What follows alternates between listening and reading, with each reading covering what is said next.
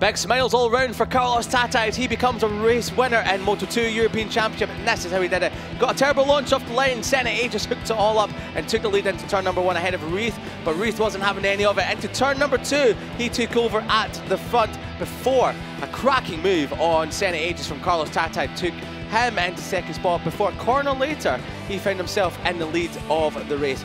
Reith was fighting back for second over Senna Agius into turn at number 13. Pedro, uh, Lorenzo Corner on lap number one as Carlos Tatay darted off into the lead. Piotr Biesiekirski, he came to the end of his race before he remounted, actually before he got back on the bike at turn at number six. But further back you had Garcia, Sura, Carlos all battling over fourth place before Rato got in the mix in the number 13 machine as well. So great scraps going on all the way through down the field, but Carlos Tatay was off and running.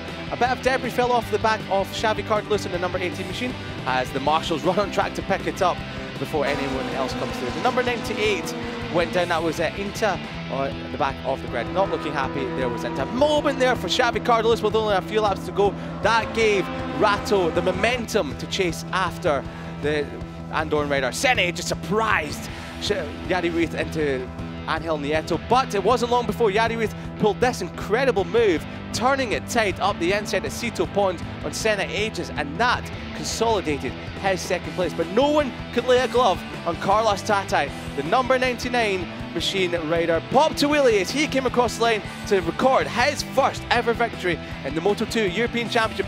Reith with a best result of second place held off Senna Agius, championship leader. Then it was Rato and Cardelús running in the top five as celebrations kicked off in the Pertamina Mandalika SAG racing team as Carlos Tatay rode the emotions of his first win in the class.